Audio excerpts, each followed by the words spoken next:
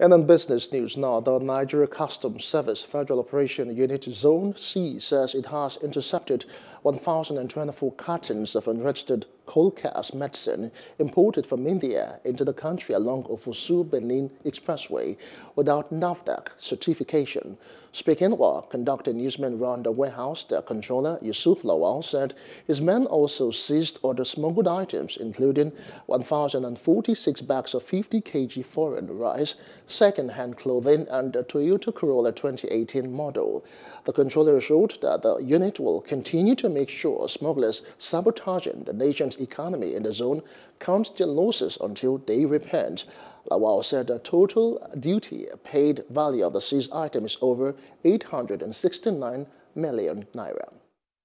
More worrisome and unconcerned to us as enforcement arm of the government is especially interception of this medicament that is not licensed. It has no NAFDAC certificate. And if this thing goes to the wrong hand, the, neg the negative effect of this cannot be overemphasized.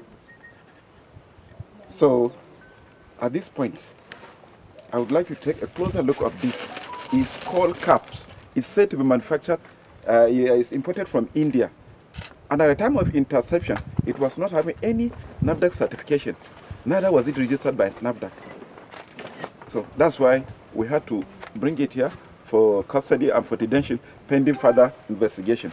And after all said and done, I think this item will be handed over to NAFDAC for further investigation so that to unravel those behind the importation of these items.